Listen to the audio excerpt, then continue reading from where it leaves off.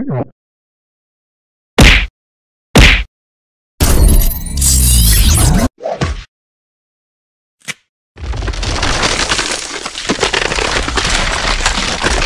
and welcome to the first episode ever of How To. Make, make, make, make the ground shake.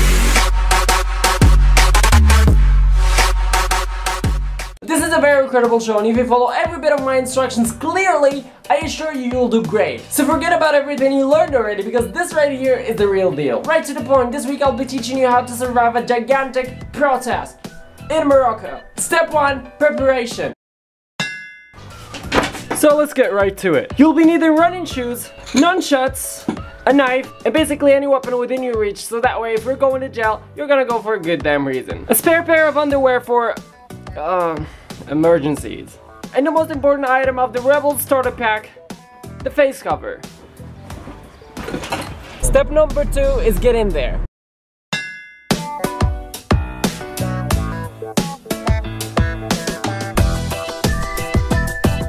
So after three national marches, we learned that basically the police will do anything to stop us from getting there. So you can either go by car, which is really expensive, but that doesn't really make sense because we're broke, or use the bus and risk getting arrested at any point on the road. And the last and best option is to actually take the train.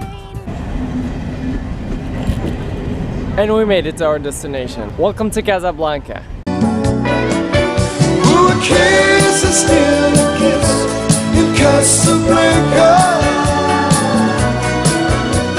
A kiss is not a kiss without your side. Please come back to me Casablanca. I love you more and more each day as time goes by. The marches all go right now, and this is where it gets tricky. Step 3, survive it.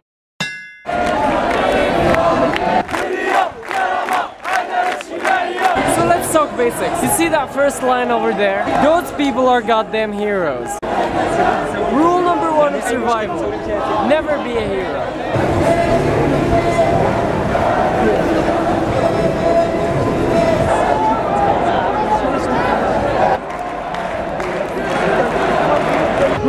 Never march on the outskirts of the protest. You want to locate yourself somewhere near the end, but not at the bottom, nor near the center. That way, if the police attack from the front, you'll have enough time to run away. And if they attack from the back, you will also have some distraction.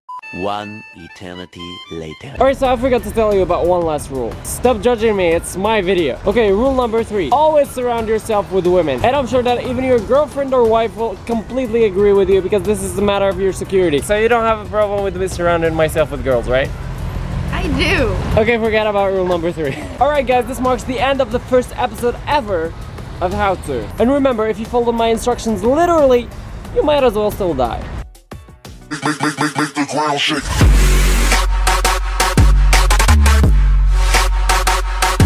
Straight to the chase, this week I'll be teaching you how to survive a strike blah blah blah.